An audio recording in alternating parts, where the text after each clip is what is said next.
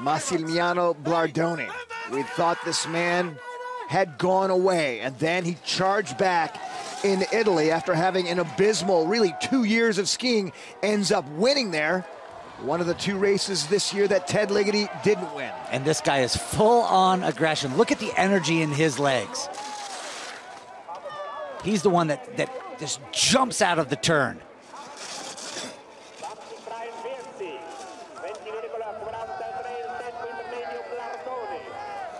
Oh, that this is great skiing, just absorbing everything.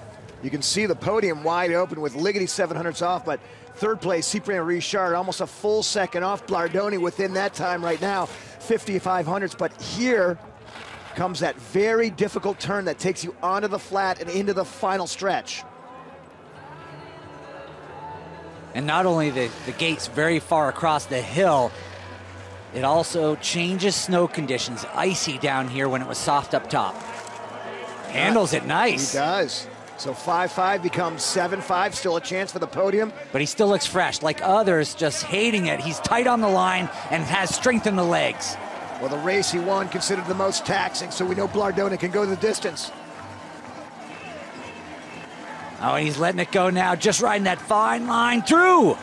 And he's got it. Finds a little bit of time, but 33 hundredths off. And so that puts him on the podium, but everything left on the hill. Yeah, whatever he had left in the tank coming over that steep, he left it on the hill, barely standing up through the finish.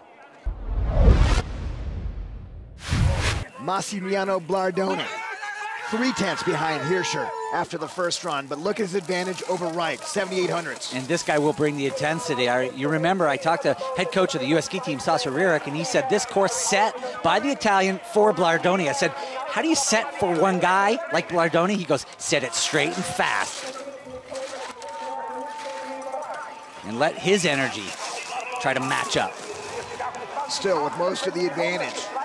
And it seems in the last couple of skiers we saw the snow relent, oh. and now it's starting to oh. pound.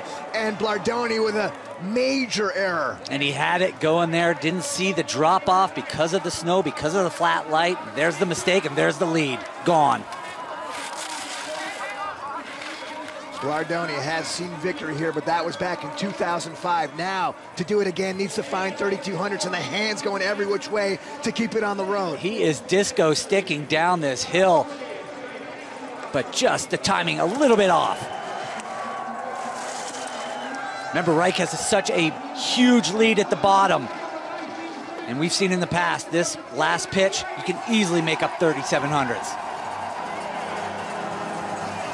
Oh. Blardone on the very limit in that final turn.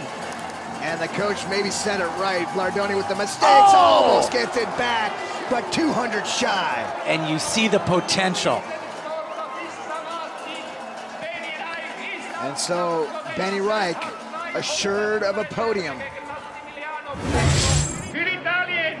Massimiliano Blardone!